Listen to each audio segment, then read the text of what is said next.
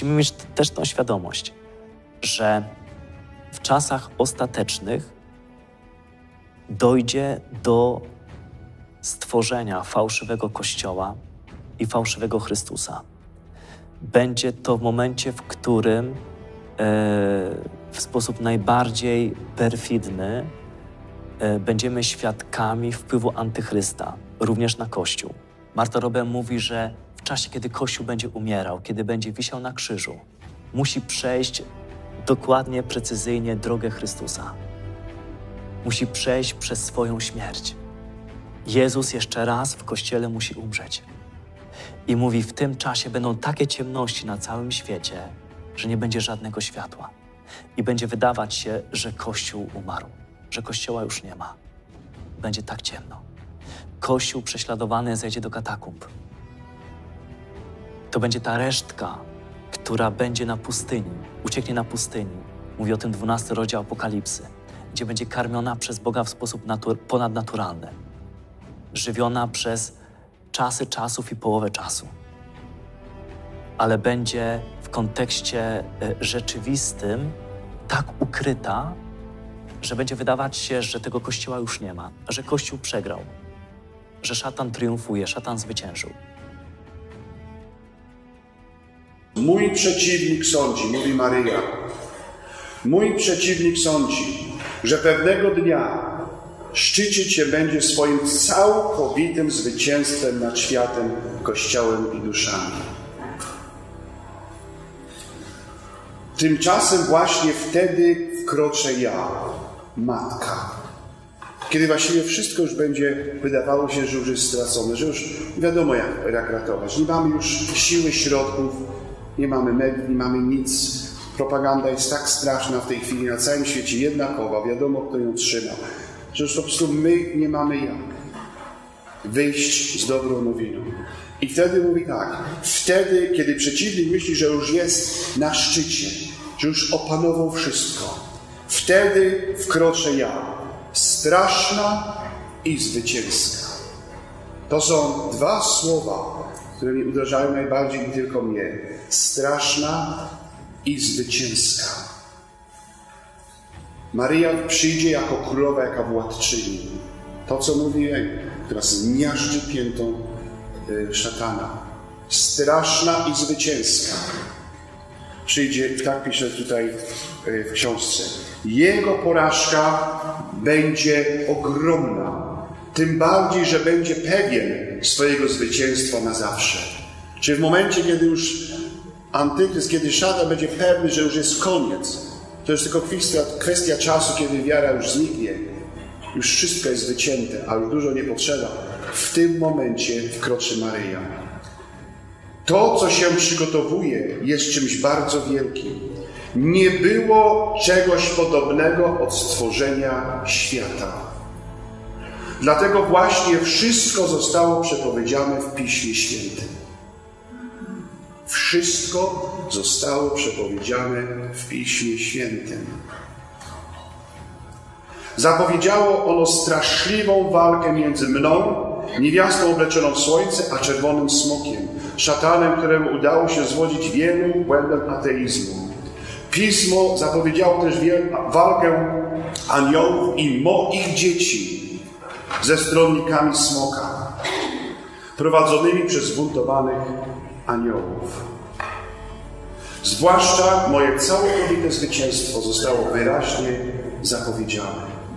I teraz uwaga, wy, moi synowie, zostaliście wezwani, żeby przeżyć te wydarzenia. Teraz powinniście o tym wiedzieć, aby świadomie przygotować się do bitwy.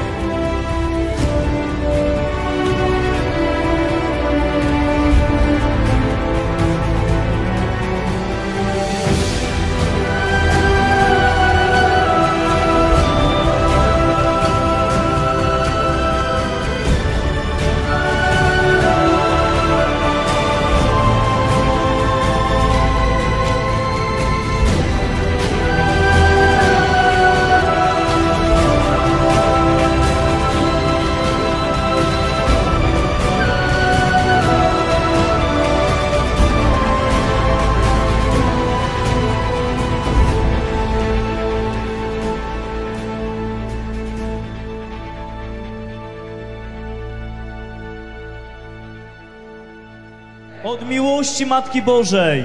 Od miłości Matki Bożej. Miłości, która jest w Chrystusie Jezusie. Moim Panu.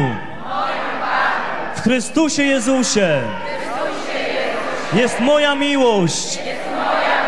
I nic mnie od niej nie odłączy. I nic nie odłączy mnie od miłości Matki Bożej.